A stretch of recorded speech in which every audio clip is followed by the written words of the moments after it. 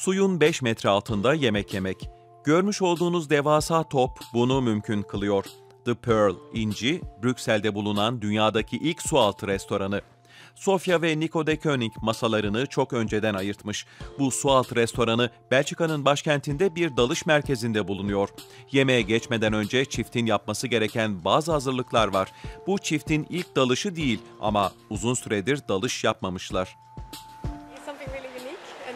Bizim için muhteşem bir deneyim. Nasıl bir şey olacağına dair hiçbir fikrim yok ama yine de çok heyecanlıyım. Restoran sahibi bu konseptin üzerine uzun yıllar düşünmüş. Bir hortum vasıtasıyla kapsüle oksijen pompalanıyor. Ancak topun içine pompalanan bu hava aynı zamanda güçlü bir kaldırma kuvveti oluşturuyor. Kapsülün ve kabloların üzerindeki su basıncı çok yüksek. Kapsülü su altında tutmak için 4 tonluk basınç gerekiyor. Bu sebeple projenin başında kapsülü havuzun içine nasıl bağlayacağımız hakkında düşünmemiz gerekti. Nico ve Sofia de Koenig işe koyuluyor. Adaba uygun bir şekilde garson tarafından masalarına kadar eşlik ediliyor. Bu durumda garson da onlarla birlikte dalış yapıyor.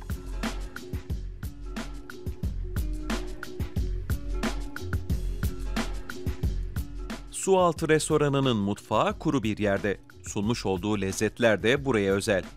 Beş çeşit yemeğin ana unsuru deniz ürünleri. Tüm yemekler su basıncına dayanıklı camlarla paketleniyor. Kişi başı menü 100 euro.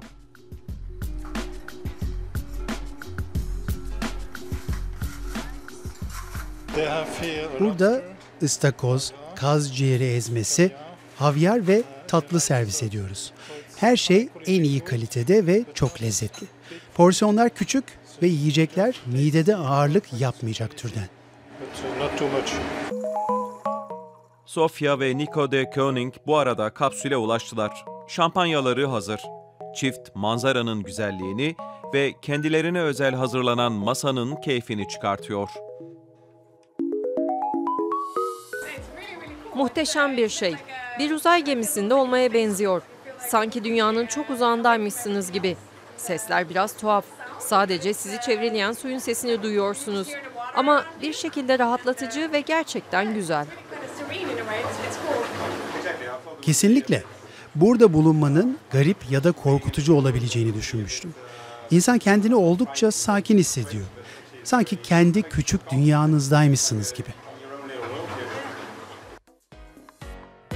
Ne kadar süre kalabilirsiniz burada diye soruyoruz. Biraz daha şampanyayla uzun süre kalırım. En azından bir saat. Siparişler yolda. Hava basıncına dayanıklı bir çanta içinde garson yemekleri getiriyor.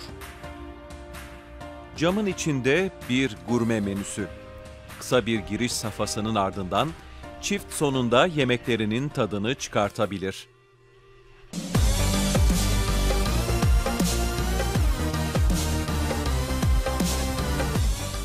Bu arada şef de uğrayıp yemeklerin nasıl olduğunu soruyor. İnci restoranına yemeğe gelenlerin acele etmesine gerek yok.